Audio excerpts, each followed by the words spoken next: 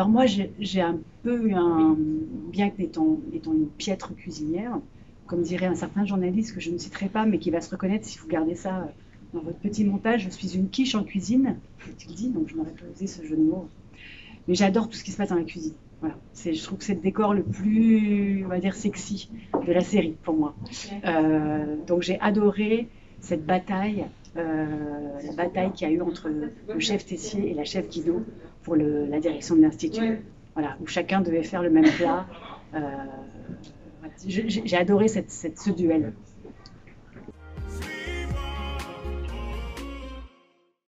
En fait, ce qui m'a donné envie, c'est qu'on me le propose. tout bêtement.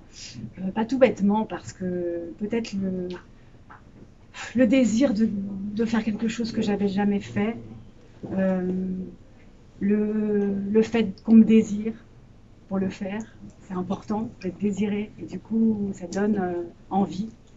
le personnage, la cuisine, le personnage de chef étoilé. Je trouve c'est très impressionnant ces femmes chefs aujourd'hui.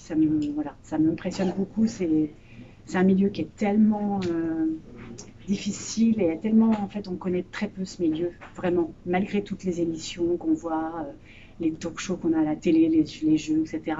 Je trouve que c'est un milieu qui est euh, voilà, qui m'impressionne énormément. Donc ça. et puis ce rôle, la fonction d'être aussi professeur dans une école. Donc là, tout ça, tout ça mélangé fait que j'ai, on va dire, j'ai pas accepté, je me suis lancée, vraiment.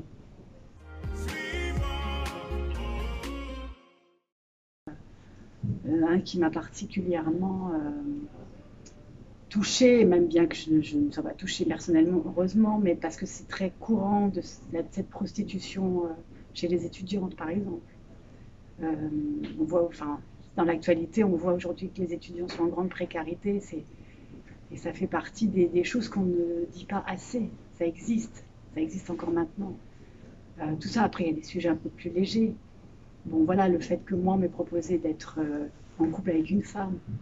Voilà, je trouve que c'est un sujet euh, voilà, sur le coming out tardif des femmes. Parce qu'on on parle plus des hommes ensemble, mais des femmes ensemble. Passer 50 ans, je trouve que c'est un sujet euh, ces, quotidiennes-là permettent d'aborder ce genre de sujet.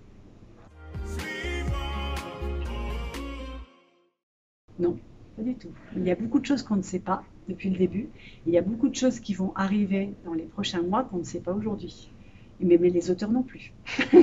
c'est ça le principe, c'est qu'en fait l'évolution se fait petit à petit et on peut découvrir euh, je sais pas, des, une famille cachée d'un des personnages euh, dont on n'a jamais entendu parler depuis le début. Ça fait partie des choses euh, qui évoluent au fur et à mesure de l'écriture.